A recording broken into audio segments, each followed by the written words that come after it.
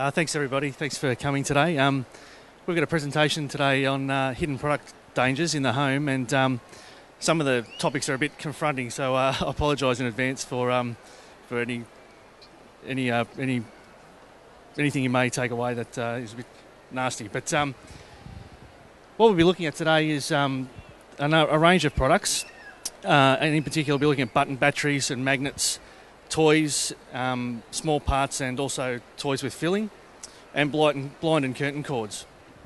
So, hidden product dangers are those that are obviously difficult to see, and the product itself may be hidden or otherwise go unnoticed, or the hazard it creates, such as choking or internal injuries, isn't immediately recognisable. Uh, babies and younger kids uh, are most at risk of these dangers. Um, why? Well, it's a natural part of their development to uh, put uh, explore their surrounds and put things in their mouth, basically. Um, and uh, they're associated, these products in particular, are associated with some pretty severe hazards that can uh, lead to the death of a baby or small child. What's going on? Okay, thanks. So, luckily, there are ways um, that we can prevent uh, these hidden dangers, and um, we'll talk about where to look for them and how to find them, and what specifically to look for and steps you can take. Uh, firstly, uh, we're going to um, use our choke check uh, um, handout later on, and you might want to pull out a 10 cent piece or something that, uh, that we can use later. So, button batteries. Lithium button batteries are often coin sized, and the energy they emit, however, is uh, very powerful. They're used in a range of common electrical household devices such as keyless entry remote controls bathroom scales, and also musical greeting cards. And for a hidden and severe hazard to young children, these are very common. Um, a 10 cent coin can get stuck in a child's throat, and a 10 cent coin sized battery, however, can not only get stuck, it can burn through tissue in as little as two hours. And so this morning at our stand, just over here in front of the play area, we prepared a demonstration using two slices of uh, lunch ham with a button battery placed between them and this is uh, just over two hours ago. You can see the uh, burn through the ham. Um, we're doing these demonstrations uh, throughout the day and at our stand uh, just to show you how quickly and easily and silently these kind of severe injuries can happen. Kids who swallow button batteries often need complicated surgery uh, or multiple surgeries to repair the damage, and they need feeding and breathing tubes to recover as the button battery can burn through different organs such as the esophagus and stomach. Uh, in Australia, it's estimated around four children a week present to an emergency department with a button battery related injury. Uh, we're going to play a video now to um, to uh, just uh, reiterate the, the dangers associated with the batteries.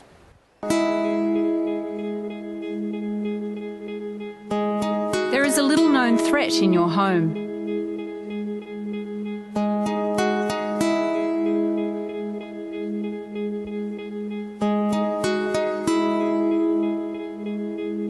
It's a small item, the size of a 10 cent coin, and it can cause big problems for your child.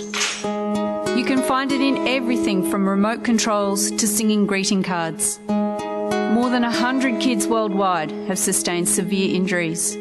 Belinda says her one year old was playing in his bedroom, and 25 hours later, doctors found a battery stuck in his throat.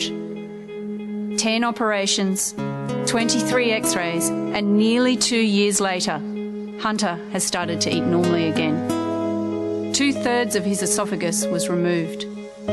If swallowed, the battery sets off a chemical reaction and can cause severe burns to the esophagus. Here we have the bathroom scale, down on the floor, ready for the kids to play with. But think again.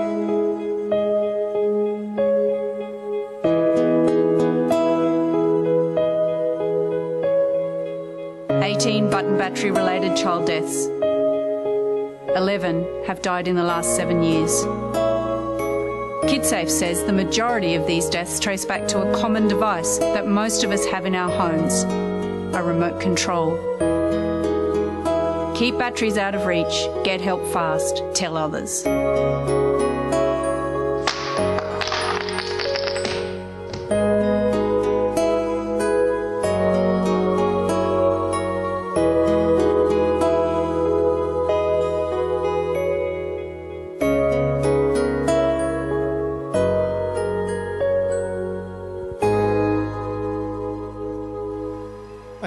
So um, we also have some uh, more videos on our website which you might be able to uh, have a look at.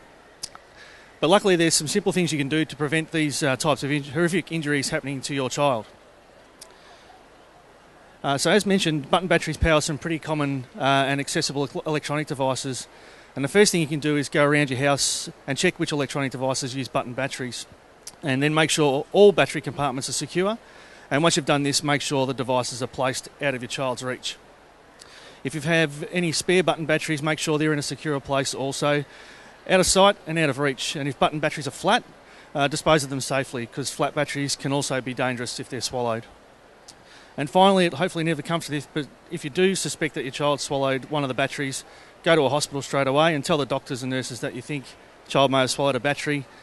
Don't let your child eat or drink, um, not even water, and don't induce vomiting. Okay. Moving to magnets. Small, strong powered magnets uh, can be used in toys and play objects, and they make great objects uh, or components for sticking things together, obviously. Uh, toys with magnets must meet strict safety requirements by law, including labelling and testing. And certain small, high powered magnets have been used as adult desk toys, and some of these products have been banned from sale in Australia um, and other countries, including the US and New Zealand. And magnets are heavily pr- regulated to protect children for critical reasons. Magnets, again, obviously stick together, and that's what makes them the, the hidden danger if they're swallowed. Um, if more than one magnet is swallowed, then they can lock together through the walls of a child's intestines and cause perforations and blockages. And children can also suffer serious infections if this happens. Um, it requires urgent and often complicated surgery to remove magnets in order to avoid serious med- medical complications. However, there's a few things you can do to ensure your child doesn't swallow magnets, and they are to obviously keep small, high powered magnets out of reach. Um, toys with strong magnets or magnetic parts that are small enough to be swallowed should be kept away from young children. And check all toys with magnets and make sure the magnets are securely attached and can't come off easily um, or are embedded in the toy. Always dispose of toys if their magnets become loose, and if you suspect magnets have been swallowed, again, seek uh, medical treatment immediately. Okay, moving to choking hazards. Um, choking hazards are another hidden danger and can present themselves to your child in a few different ways as small toys, as parts of toys, or as small objects that are lying around. To a small child, these uh, things are very interesting and they like to put them in their mouth.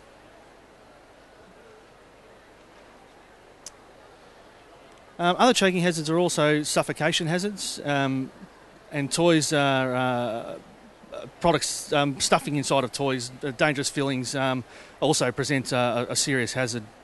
Bean bags are also very, very common hazards.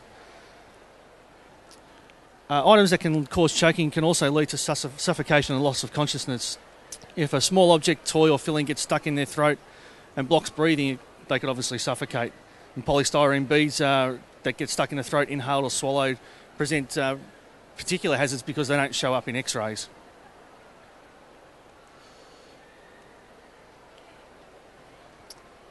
So just going to show another video now um, on uh, a test on small uh, stuffed toys and show you the hazards associated with um, the products.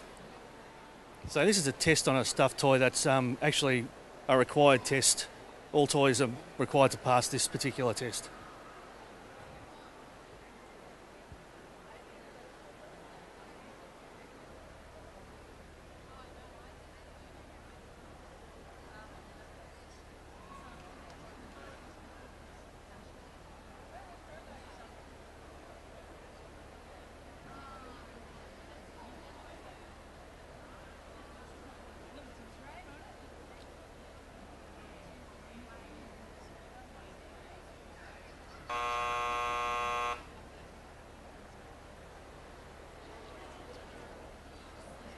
So the stuffing inside the toy presents a, a significant hazard to, to young children.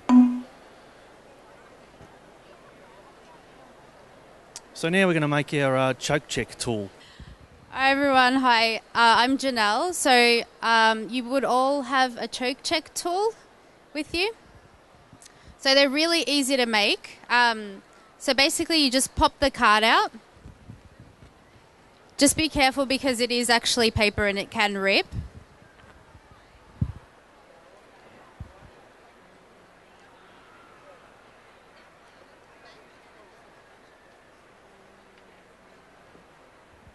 So looking at the pink side of the card, you're going to get this little uh, little elliptical shape here, little um, oval shape, and try to slot it through this uh, this slot here, right in the middle.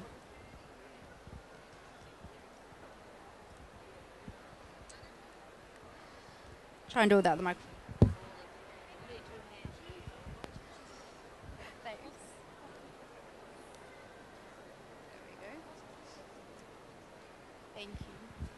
And then all you do is simply lock in the other two tabs along the edge. So just pop them inside. So it should be the blue side showing all around. So just pop these in like this. Lock them in. And now you have a choke check tool. So basically anything that can fit completely through the top end of this tool is a potential choking hazard for a small child that likes to put things in their mouth. Thanks, Janelle. Uh, yeah, the, the size of the choke check actually replicates a, the size of esophagus in a uh, child under the age of three. And uh, as Janelle said, anything that fits completely inside the, the choke check is a, is a choking hazard. Um, there's simple things you can do to reduce or remove choking hazards, and uh, they are to keep small objects and toys away from young children small toys, that is, from young children, and check if a toy or object can fit into a cylinder, basically the size of the well the choke check. And if you don't have the choke check, like an old film canister or the um, pencil sharpener casing. Um, always check that toys and objects given to young children are not able to release small parts, and keep toys for older children separate and away from a young child's reach. So the under threes reach, under three year olds reach.